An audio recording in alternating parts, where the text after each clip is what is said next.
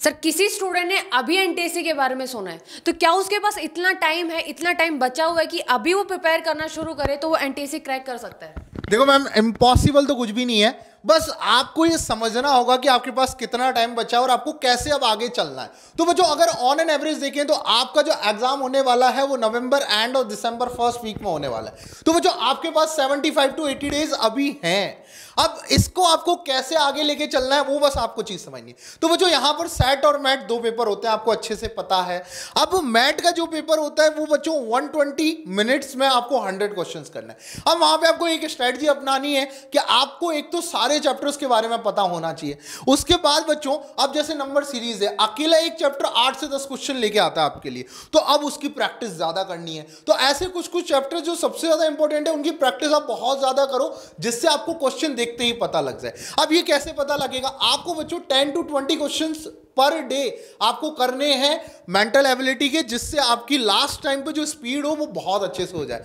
अब मैट के लिए बच्चों, आप क्या क्या यूज़ कर सकते हो? आप एक तो प्रैक्टिस करो और एक टाइमर बेस्ड प्रैक्टिस करो कि टेन क्वेश्चन टेन मिनट आपको करने ही करने इसके लिए बच्चों, सबसे अच्छी चीज़ बता रहा हूँ, आप एटीवी स्टार की वेबसाइट पे आओ ऐप पर आओ, वहाँ पर आप प्रैक्टिस सेशन में जाके टाइमर के साथ चैप्टर सेलेक्ट करके क्वेश्चन कर सकते हो। तो मैम ये तो बहुत अच्छी बात होगी एटीवी स्टार की प्रैक्टिस हमने बच्चों को दे दी। अब इसके बाद जो है मैम आप सेट की स्ट्रेटजी बताओ।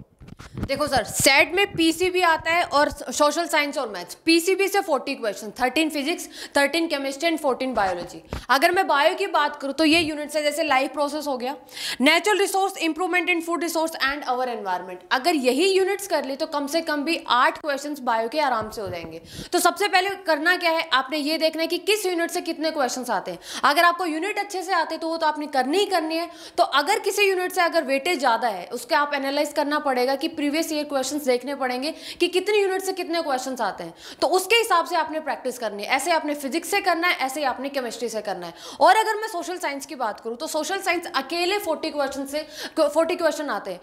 तो forget N T without social science मतलब आपको सोशल साइंस तो पढ़नी ही पड़ेगी। और जो स्टेज वन है, वो स्टेट बोर्ड कंडक्ट कराता है तो आपने सारी की सारी स्टेट की हिस्ट्री पढ़नी है, ठीक है? जैसे महाराष्ट्र का एग्ज़ाम है तो महाराष्ट्र की हिस्ट्री पढ़नी पड़ेगी आपको, ठीक है? तो ऐसे आपने एग्ज़ाम की प्रिपरेशन करनी है तो इसके हिसाब से मेरे ख्याल से सर पॉसिबल तो है, लेकिन डिफ़िकल्ट है, लेकिन पॉसिबल है। मैम, एक चीज़ और बता दो, मुझे कंफ्यूजन है कि फिजिक्स केमिस्ट्री बायो तीनों मिला के फोर्टी मार्क्स हैं। तो इनको अटेम्प्ट कैसे करना है पेपर में?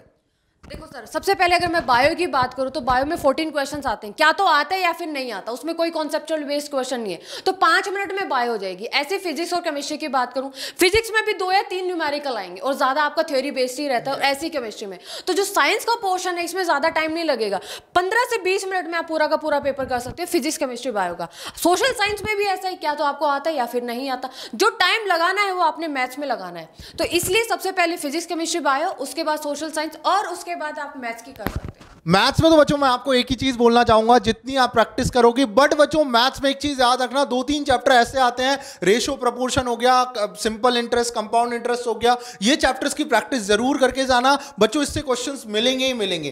तो अब मैम, सारी बातें हो गई, बट और बच्चा क्या इंप्रूव कर सकता है यहाँ पर? सर, मेरे को लगता है ना कि बच्चा पढ़ सकता है, लेकिन अगर उसको एक प्रॉपर पाथ मिल जाए कि ये पाथ है और एक पूरा का पूरा कोर्स मिल जाए तो उसके लिए बहुत आसानी होगी। क्या उसके लिए कुछ है हमारे पास? तो बच्चों, हम एटीपी स्टार आपके लिए ला रहे हैं एक एनटीएससी का क्रैश कोर्स जिसमें बच्चों, हम 60 डेज़ में फुल कोर्स रिवाइज कराने वाले हैं बेस्ड ऑन एनसीईआरटी और बच्चों, आपको यहाँ पर क्वेश्चन बेस्ड प्रैक्टिस मिलेगी। मतलब आपका जो लेक्चर्स रहेंगे, वो पूरे क्वेश्चन बेस्ड रहेंगे और उसमें आपको बच्चों फुल रिवीजन हो जाएगा। अब मैम इसके लिए तो हम बच्चों को एक सरप्राइज़ देने वाले हैं कि इसमें उनको फ़र्स्ट फिफ्टी जो स्टूडेंट्स हैं, उनके लिए हमने special fee special fee discount रखा है। अब मैम आप बताइए कि वो स्पेशल फ़ी डिस्काउंट कैसे बच्चा गेट कर डिस्क्रिप्शन के अंदर एक गूगल फॉर्म मिलेगा सर हर स्टूडेंट को वो गूगल फॉर्म पक्का से पक्का फिल करना है। अगर वो फिल करेगा, तभी उसको स्पेशल डिस्काउंट मिलेगा सर तो मैम, चलो, बहुत बढ़िया रहा। और बच्चों, यहाँ पर मैं और इंट्रीगेट एक बात कर देना चाहता हूँ कि बच्चों, जो भी कोर्स आपके लिए डिज़ाइन किया गया है,